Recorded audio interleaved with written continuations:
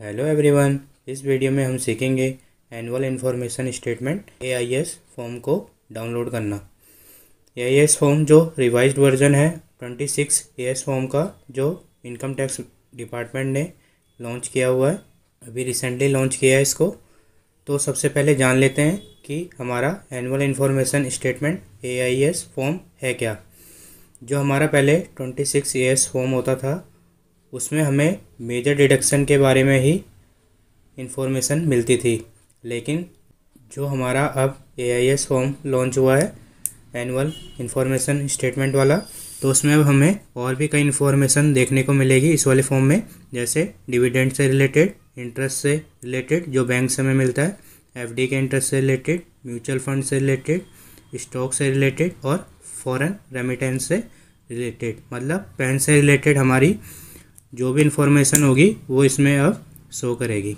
तो अब इससे और भी आसान हो जाएगा अपने इनकम टैक्स रिटर्न को फ़ाइल करना। तो चलिए शुरू करते हैं ए आई एस फॉर्म को डाउनलोड करना। तो उसके लिए सबसे पहले हम ब्राउज़र को ओपन कर लेंगे। ओपन करने के बाद हम इनकम टैक्स की न्यू वेबसाइट पे जाएँगे। डब्लू इस पर जाने के बाद हम यहाँ पे टॉप राइट कॉर्नर पे हमें सर्च के लेफ़्ट साइड में एक आइकन दिख रहा होगा, उस पर क्लिक कर लेंगे। उस पर क्लिक करने के बाद हम यहाँ पे लॉगिन कर लेंगे। लॉगिन करने के बाद अब हमारे सामने इस टाइप का पेज ओपन हो जाएगा तो हमें टॉप राइट कॉर्नर पे जो थ्री लाइन दिख रही है, उस पर क्लिक कर लेना है। उस पर क्लिक करने के बाद अब हमें यहाँ पे सर्विस वाले टैब पे क्लिक करना है। इस पर क्लिक करने के बाद हमें सबसे नीचे ऑप्शन दिखाई दे रहा है ए आई एस का एनुअल इन्फॉर्मेशन स्टेटमेंट का तो उस पर क्लिक कर लेना है। उस पर क्लिक करने के बाद हमें अब ये रिडायरेक्ट करेगा ए आई एस के होम पेज पे तो उसके लिए हमें प्रोसीड पे क्लिक कर लेना है। उसके बाद हमें यहाँ पे ए आई एस पे क्लिक कर लेना है।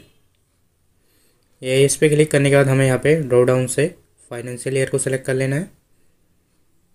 उसके बाद हम यहाँ पे एनुअल इन्फॉर्मेशन स्टेटमेंट के नीचे एक ऑप्शन दिखाई दे रहा है डाउनलोड का, उस पर क्लिक कर लेंगे।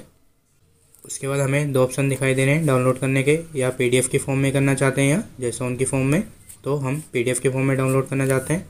तो डाउनलोड पे क्लिक कर लेंगे। तो हमारा फॉर्म डाउनलोड हो चुका है तो एक बार इसको ओपन कर लेते हैं।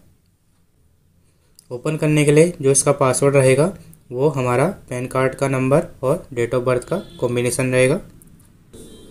उसके बाद देख सकते हैं फ्रेंड्स कि हमारा ए आई एस फॉर्म है, वो ओपन हो गया है तो आप भी इसी तरीके से अपने ए आई एस फॉर्म को डाउनलोड कर सकते हैं।